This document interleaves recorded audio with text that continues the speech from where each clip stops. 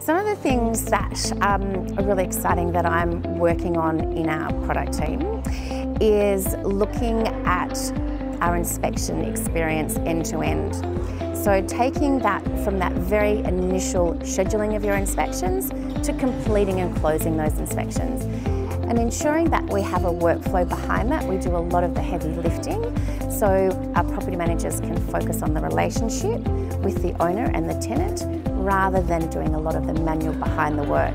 Another thing that I'm working really, really closely is with our um, multi-office networks and our franchise groups um, for, for reporting and we're using a business intelligence tool which is going to be able to give them the insights into their operations.